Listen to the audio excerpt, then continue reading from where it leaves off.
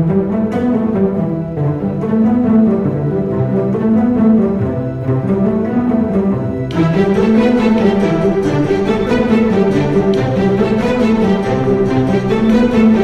Abby De La Rosa here for day two of Art Hearts Fashion.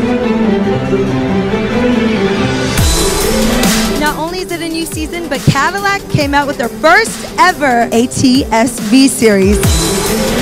Not only are we going to check out some amazing designs, but we're also going to check out this sexy ride. Let's go.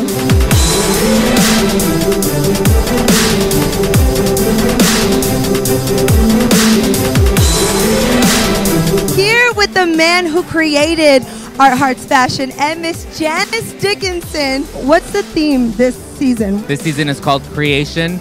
So you're going to see a lot of the beginnings of my evolution of what I'm doing with fashion. So we're fresh off of the runway. What inspired you for this season's LA Fashion Week? It's a girl who's fallen in love, exploring her femininity, her confidence, and her sexiness. You're known for your sexy body hugging dresses. Talk about this new collab. We love to be able to make a woman feel beautiful, and what a better day to make a woman feel beautiful than her wedding.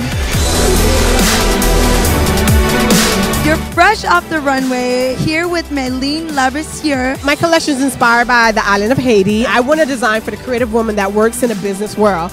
And so most of my garments are very comfortable and it should translate from work to like a social event. We have Mr. Coco Black with us with his lovely designs. The theme is vacation. I want to always bring the island and paradise to the forefront of fashion. That's the whole aesthetic of Coco Black.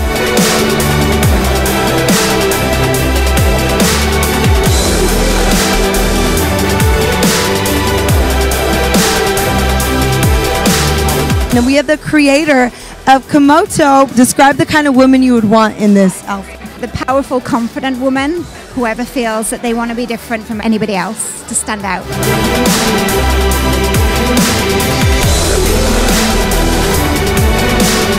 What's your favorite car right now? Cadillac. I love it. It's nice. It's a. It has great inside, great outside.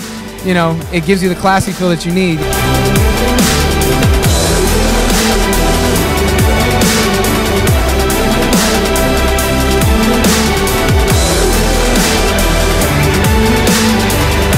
So you don't have to have million dollar budgets. You don't have to be in department stores. You don't have to be super cool. You just have to be really artistic, love what you do, and have a really great passion for it. And guess what? I'll support you. That's it. You heard it from the man himself, Mr. Triple X. Not only is he changing LA fashion, but he's also doing it for a great cause.